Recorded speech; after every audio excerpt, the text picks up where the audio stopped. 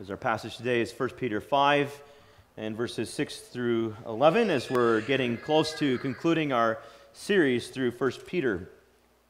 But let's uh, hear God's word now from 1 Peter 5, verses 6 to 11. Let us give our attention to God's holy, inerrant, and inspired word.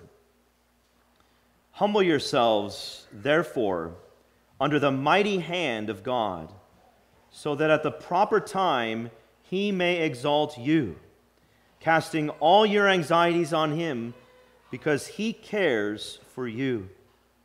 Be sober minded, be watchful. Your adversary, the devil, prowls around like a roaring lion, seeking someone to devour.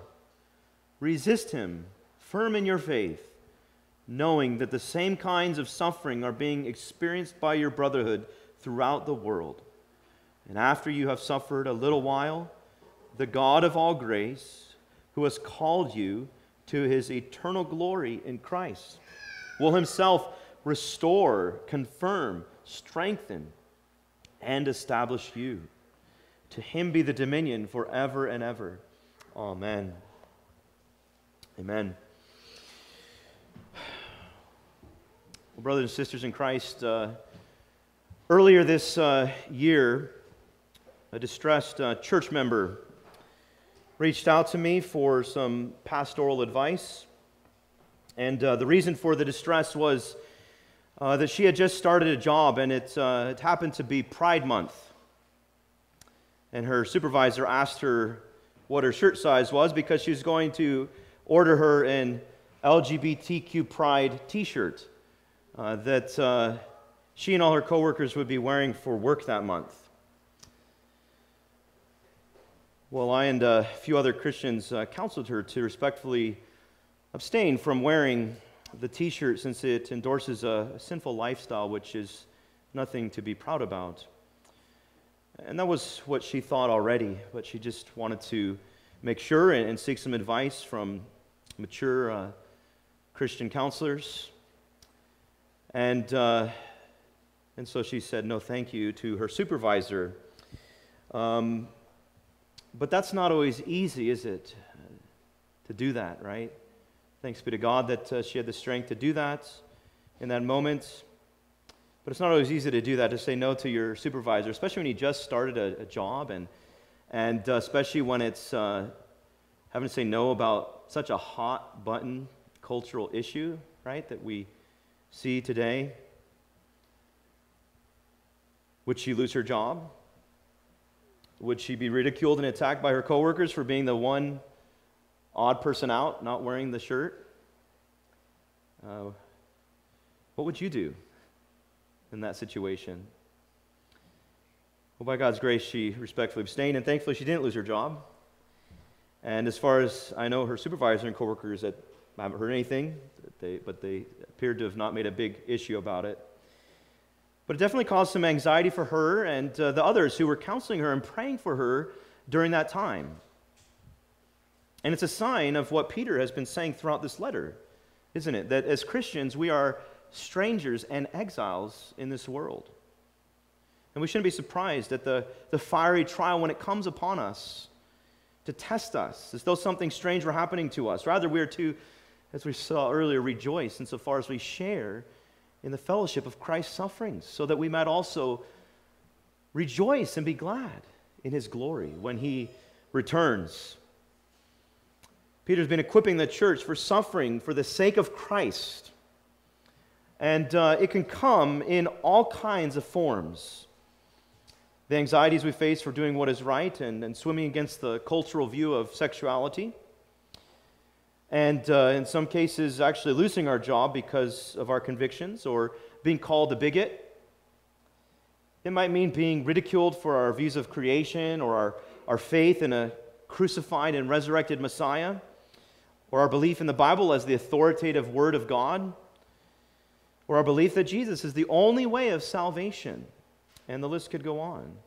And sometimes persecution will be more severe uh, where it uh, could mean imprisonment or, or torture or losing our lives. How then shall we live as we suffer for the sake of Christ in this world? Jesus said, In this world you will have tribulation. Well, Peter has taught us much and encouraged us much in this letter of how we should respond to suffering and persecution in this life. He's given us great wisdom and counsel. Ultimately, he's called us to follow in the footsteps of our Savior, Jesus Christ, our suffering Savior.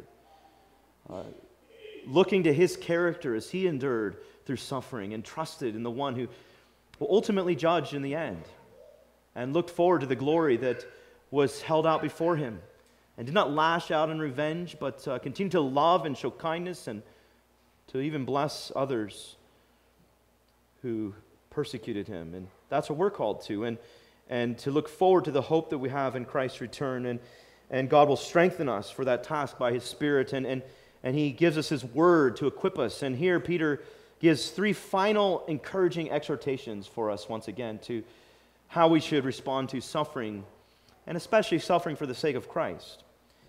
He calls us here to be humble under God, to be watchful of the devil, and to be confident in the future. So, first, we see here that he calls us to be humble under God. Notice verse 6, he says, Therefore, well, let me just stop there. He says, Therefore. And as I always say, and many people say in the pulpit, right, what's the therefore? Therefore, we got to think about that. And uh, it points back to verse 5, which we saw last week, where Peter just said, Clothe yourselves, all of you, with humility toward one another. For God opposes the proud, but gives grace to the humble. Uh, Augustine once uh, said that the three chief virtues of the Christian life are humility, humility, and humility. And indeed, humility is vitally important for the Christian life at all times, and the Bible constantly calls us to clothe ourselves in humility towards one another. And uh, we're to do so. It is vitally important for the Christian life at all times, but especially for the sake of maintaining the unity of the body of Christ in times of suffering uh, when tensions are high and people are irritable and people are anxious because of the sufferings they're going through, we especially need to clothe ourselves in humility toward one another. And that will, by God's Spirit, enable us to be patient and kind and compassionate towards one another as we go through suffering together. As one commentator put it, humility is the oil that allows relationships in the church to run smoothly and lovingly. But clothing ourselves with humility is not just a horizontal thing, it's also a vertical thing. And that's what Peter has in mind in verses 6 to 7. Uh, not only do we need to clothe ourselves in humility towards man, but we are to clothe ourselves in humility toward God. And so Peter exhorts us humble yourselves, therefore, under the mighty hand of God, so that at the proper time he may exalt you casting all your anxieties on Him because He cares for you. Uh, there's a connection that uh, Peter wants us to see here between anxiety and pride. Now, there is, of course, a, a good anxiety that the Bible talks about, and that's just simply a genuine concern for other people. Uh, but uh, Peter's not talking about that. He's talking about uh, more of a, selfish concern or, even a concern for others, but, but one that's, uh, that has gotten out of control, where it just is eating us up on the in, inside, and we refuse to go to God in prayer and bring it before Him. As one person put it, anxiety screams that, that we've taken over the reins of our lives and stopped trusting God. It shouts that our circumstances have bolted out of control and God hasn't curbed them to our satisfaction and it orders Him to shove over and give us a shot at it. Anxiety puts us in the spotlight and blinds us to the face of God's sovereign care. And Peter's just said that God is opposed to the proud, but gives grace to the humble. He's opposed to the one who refuses to humble themselves in prayer and clings to their anxiety and pride. And so, if you want grace for the things you are worried about, you need to pray and, and ask God for sustaining grace and uh, gracious deliverance if it should be His will to deliver you.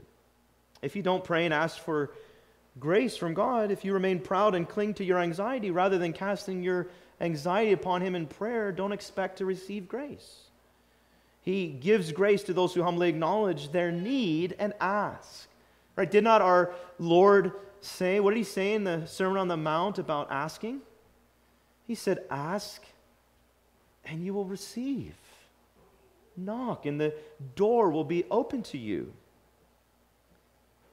Or which one of you, if his son asks him for bread, will give him a stone? Or if he asks for a fish, will give him a serpent? If you then, who are evil, know how to give good gifts to your children, how much more will your Father who's in heaven give good things to those who ask him? You see, he wants us to ask him. Don't be too proud to humbly ask God for help and strength for whatever is weighing you down like a burden on your back and eating you up on the inside. One uh, pastor in the past wrote this God's sweet dews and showers of grace slide off the mountains of pride, fall on the low valleys of humble hearts, and make them pleasant and fertile. What an image, and that's the image that we should hold fast to. And so Peter says, Humble yourselves under the mighty hand of God. And how do you do that then? How do you humble yourself under the mighty hand of God? Well, he goes on, and this is how you do it by casting all your anxieties on Him. And why should we do that? Because He cares for you. Isn't that a, an amazing promise? His words echo Psalm 55 Cast your cares on the Lord, and He will sustain you. He will never let the righteous be shaken. The psalmist there was lamenting because of the dangerous enemies that were attacking him. And, and the, the hardest thing for him in that psalm is that even a close friend had betrayed him. And he cast his cares on the Lord. And he exhorts us cast your cares on the Lord, and he will sustain you. He will never let the righteous be shaken. And so, beloved, cast all your anxieties upon God in prayer. Because not only he cares for you, but as Peter says here, his hand is mighty. You see, these two things, they work together to encourage us to pray and to cast our anxieties upon God in prayer. These two things encourage us to humbly pray. God's hand is mighty, and He cares for you and me. Think about those two things. Are you anxious about something right now? A, a job situation, perhaps? A relationship? How to pay your bills?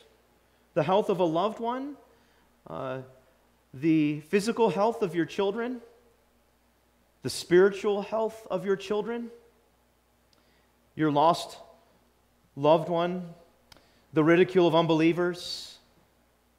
Are you anxious about government power and politics?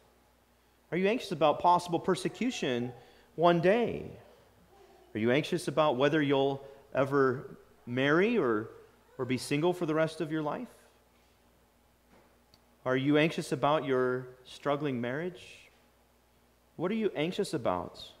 What is it that keeps you up at night? What is it that consumes your thoughts? Beloved, God is all powerful and He cares for you. Yes, each of you. I think our temptation is to say, well, He, he probably cares for everybody else in this room, but it, it doesn't seem like He cares for me. No, He cares for you. You may think he's too busy running the universe to care about little old me. He cares.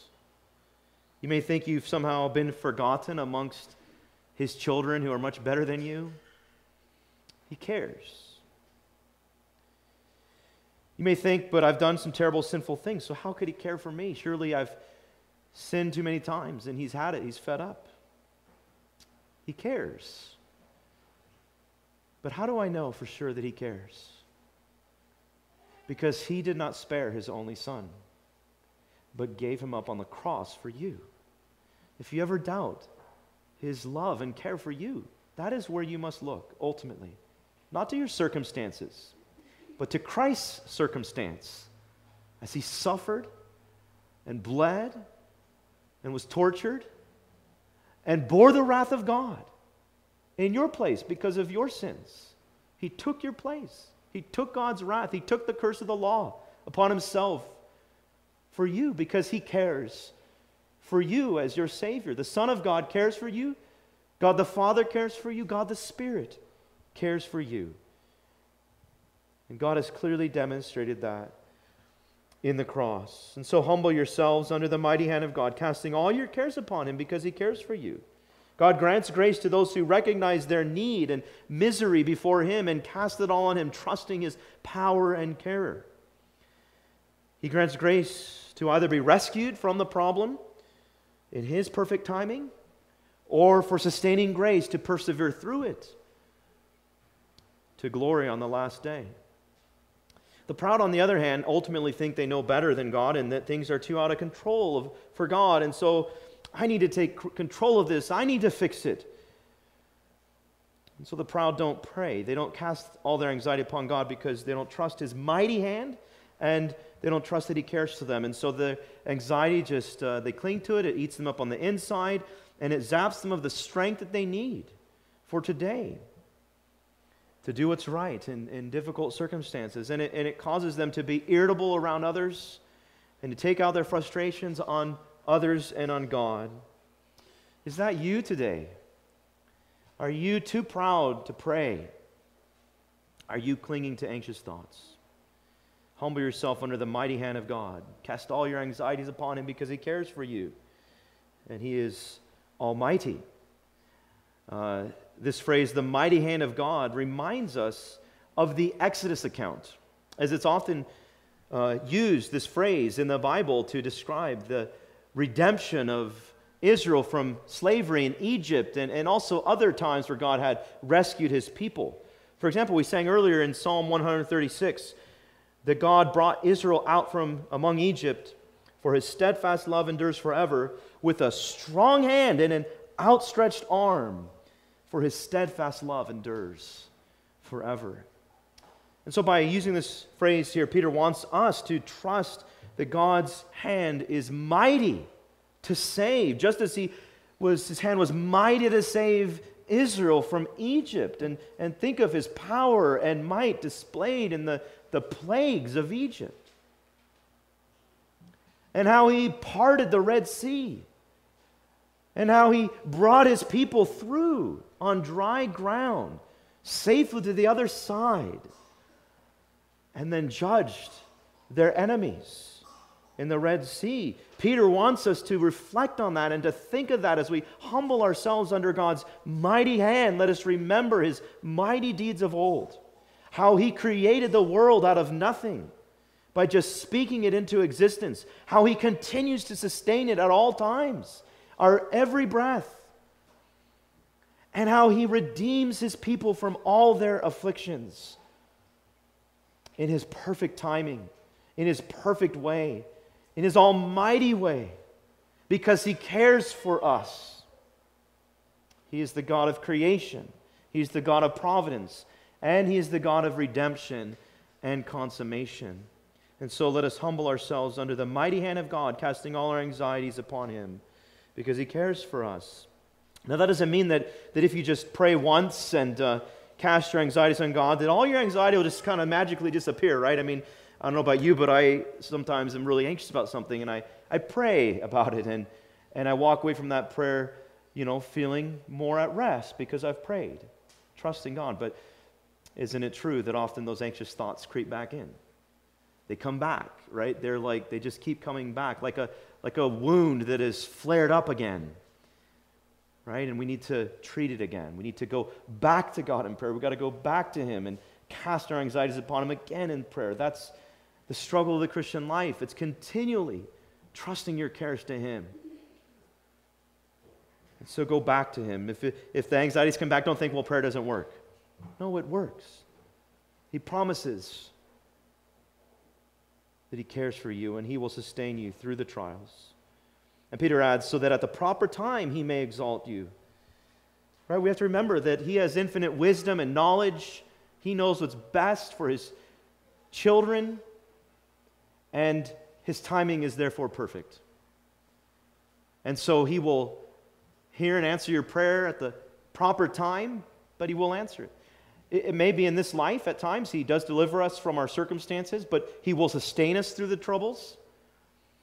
But what Peter especially refers to here when he talks about the proper time is the return of Christ. Because throughout this letter, we've seen how over and over again he's, he's pointing us forward to the return of Christ as we go through sufferings in this life and to the hope of glory that is to be revealed on that day when we see our Savior face to face and are like him, and there's no more so- sorrow, no more death, no more sins, no more suffering. That is ultimately the proper time, and he will come again at the perfect time, our Lord and Savior Jesus Christ. And so, as you suffer, be humble under God. And secondly, he says, be watchful of the devil. He says, be sober minded, be watchful. And why is that? Why do we need to be alert? Why do we need to be watchful?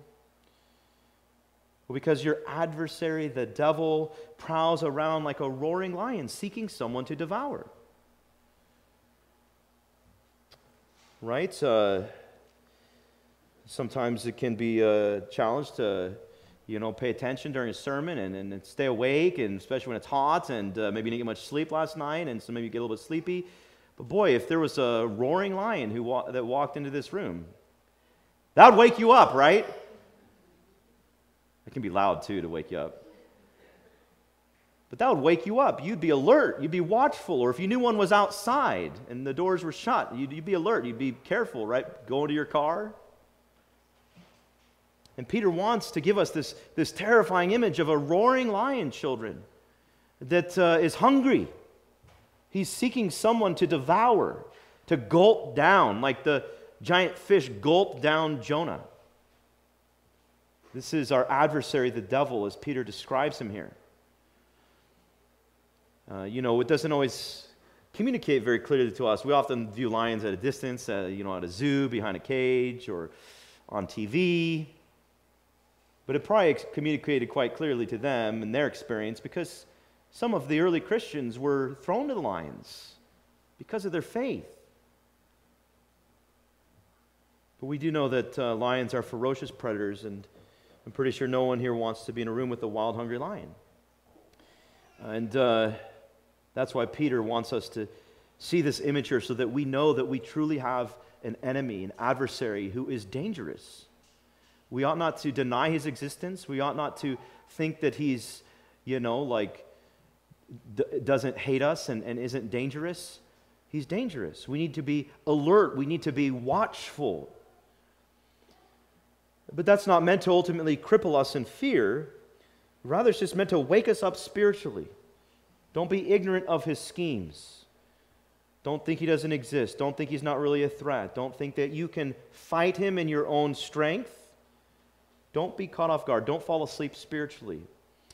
And Peter knew from experience what could happen when one is presumptuous and uh, thinks that he can stand in his own strength. Right? You remember the story of Peter in the gospel narratives, right? And, and remember, when Jesus said that somebody amongst his disciples is going to deny him. And what did Peter say? Not me. I'd never do that. Uh, you know, Lord, all of them might do that, okay? But I'll never do that. I'll go to death for you. And what does the Lord say? No, Peter, you, man, I'm talking about you, Peter. You're going to be the one who's going to deny me three times before the rooster crows. And uh, Peter still can't believe it. And he says, I tell you the truth, uh, Satan asked to sift you like wheat, Peter, but I've prayed for you. And that's why Peter endures, not because of his own strength, because of the Lord's prayer for him. And what does he do when Jesus is on trial? Sure enough, he, he denies our Lord three times, a grievous sin. And when God, Jesus looked at him, he wept bitterly and ran away. But thanks be to God that Jesus prayed for Peter, and thanks be to God that Jesus died for Peter's sins and, and then granted him peace and forgiveness when he was raised from the dead and restored him. But you see, Peter wants us to learn from him. He wants us to learn to, to not fall asleep spiritually, not to be like him in the Garden of Gethsemane, falling asleep. And the Lord says, Wake up, be watchful and in prayer. Don't be asleep spiritually. And Peter says, Don't learn from me. Don't make the same mistake that I did. Don't be presumptuous. Don't be proud. Don't think you can do this Christian life in your own strength. Take heed lest you fall. Pray as our Lord taught us to pray. Lead me not into temptation, but deliver me from evil. We need to pray. We need to be watchful. And we need to be aware of the devil's schemes, right? He's the father of lies. He's like a, a good fisherman who reveals the bait but, but hides the hook, right? And we need to expose the hook with the truth of God's word. We need to shine the light on the dark reality of sin and how it is destructive of, of us and others, and ultimately is a banquet in the grave if it goes unchecked and isn't repented of. And we need to expose the devil's lies with the truth of God's word. And, and then when the Satan tempts us and says, Well, it's really not that big of a deal, God's going to forgive you, sin is not that serious. No, it is. Look at what Jesus had to do to save us from our sins. He had to be crucified and suffer God's wrath. That's how serious it is. And that's one of our strategies of fighting against that temptation. Oh, it's no big deal. Yes, it is.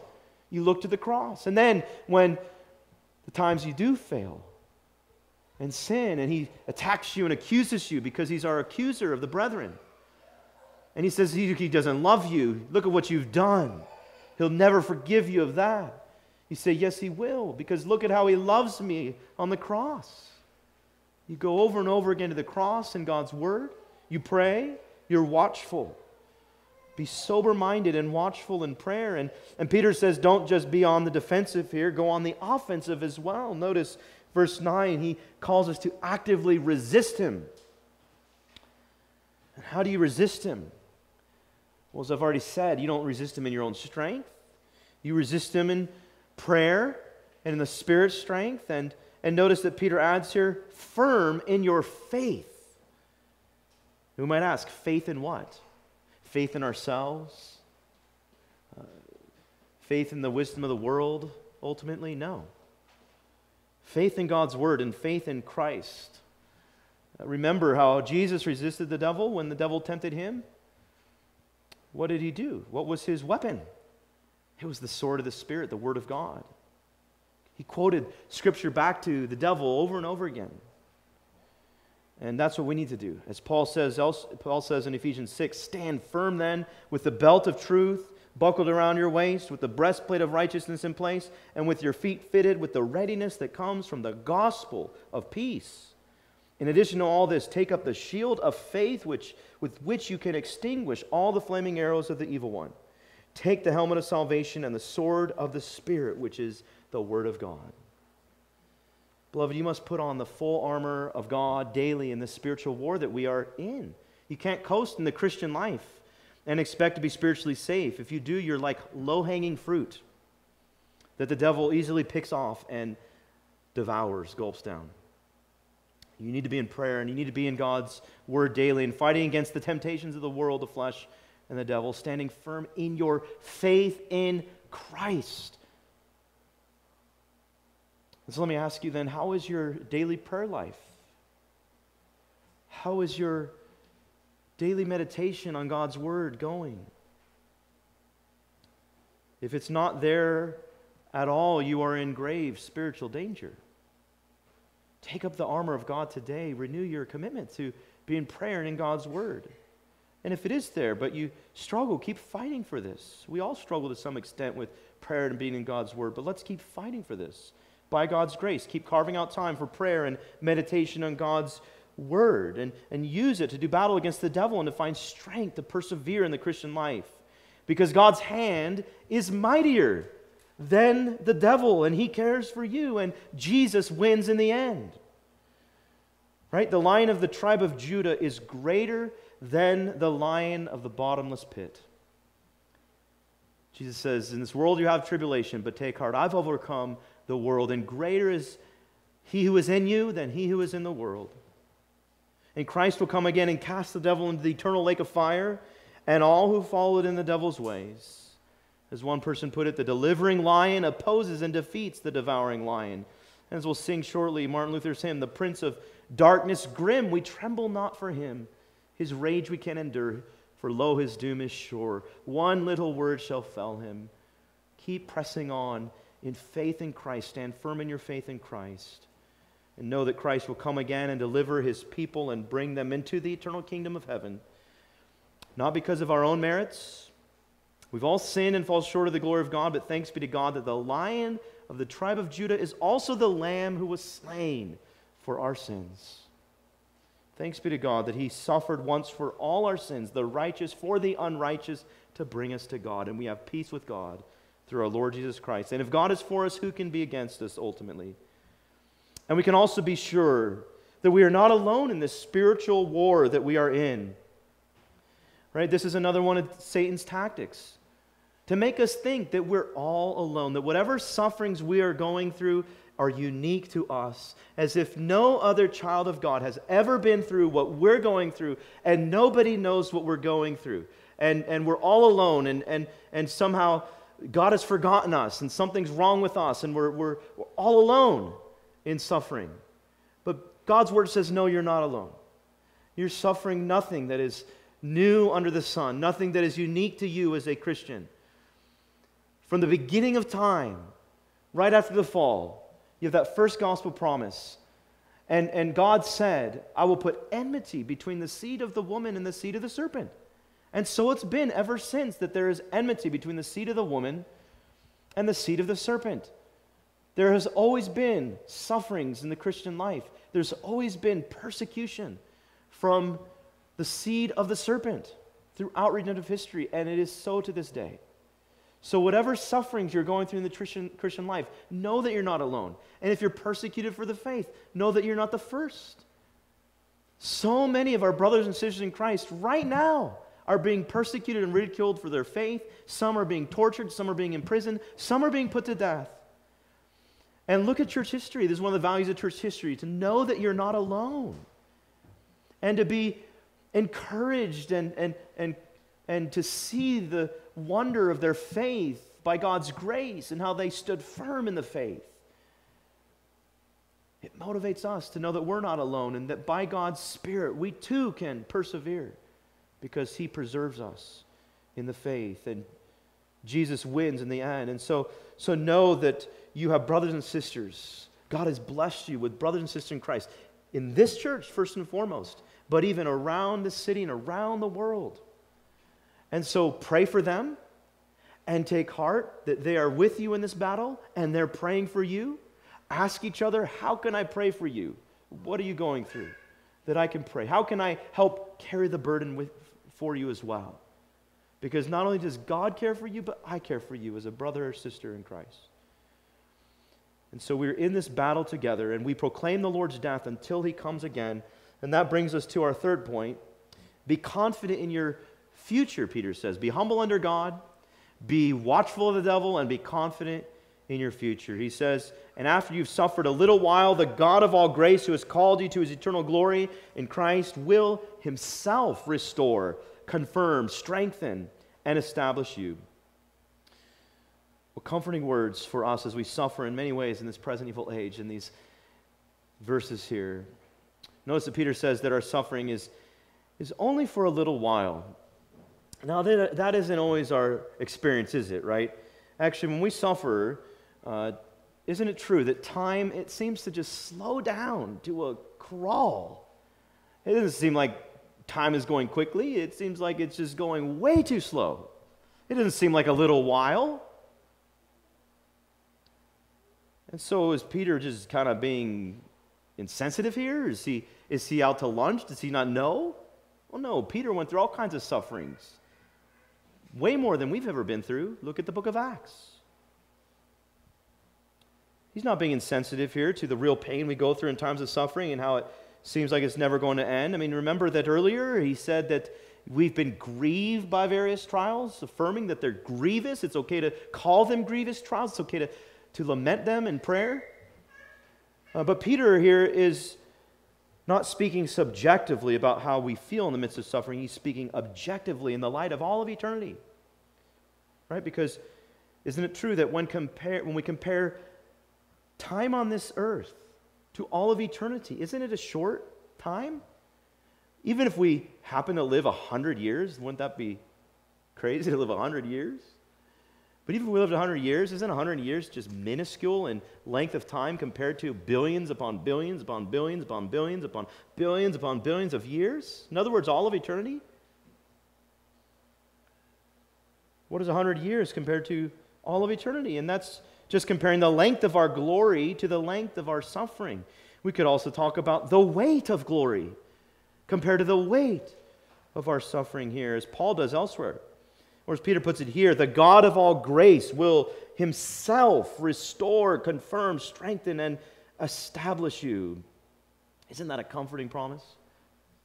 I love how it says that God himself, God himself will do this. In other words, he isn't going to outsource it. He isn't going to delegate it. He's not going to send an angel to do this. You know, sometimes my wife and I ask our older children to take care of our, our, our three year old.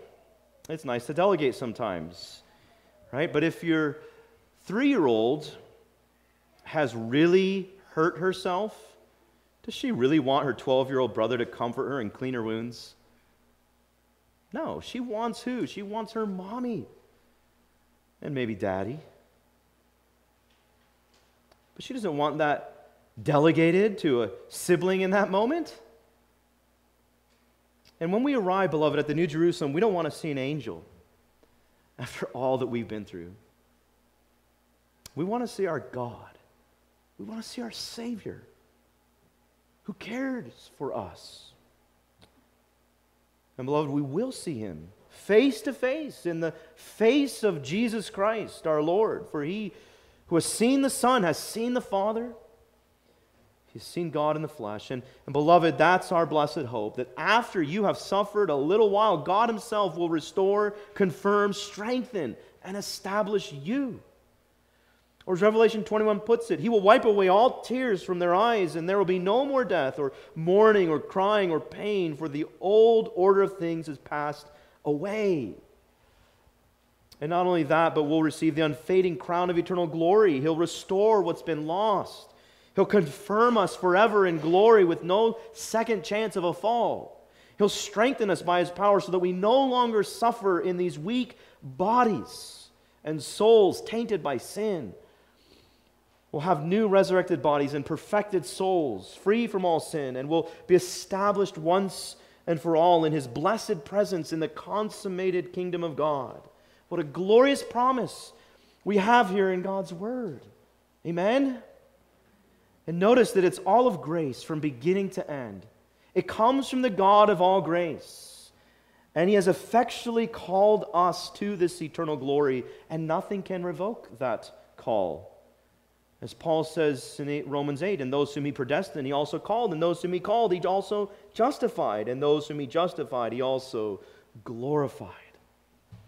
And so, as you suffer in this life, be confident in the, in the future, knowing that eternal glory awaits you. It's certain, and it will all be worth it in the end.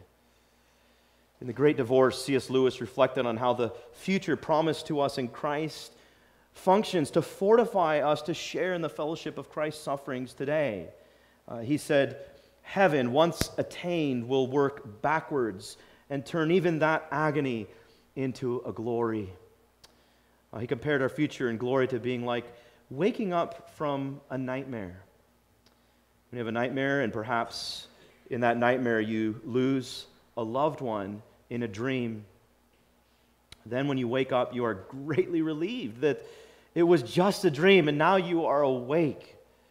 And then when you see that loved one again, you embrace them and are so much more thankful for them because you had that nightmare. It's a little bit different morning than other mornings, right?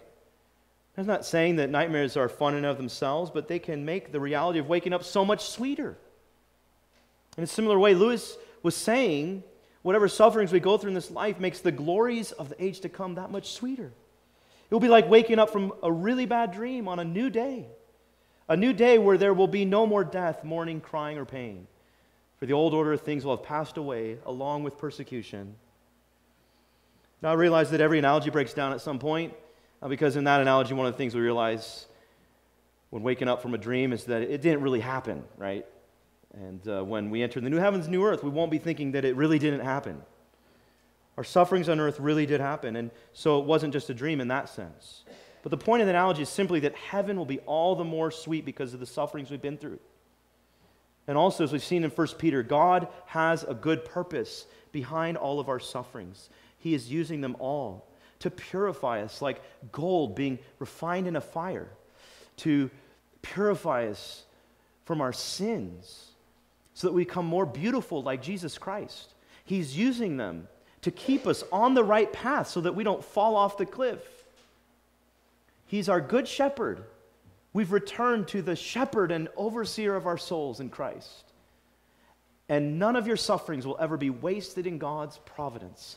He will use them all for your ultimate good. And so, beloved, as you go through sufferings in this life, humble yourself under the mighty hand of God, for he cares for you. And be watchful of the devil. Resist him, firm in your faith.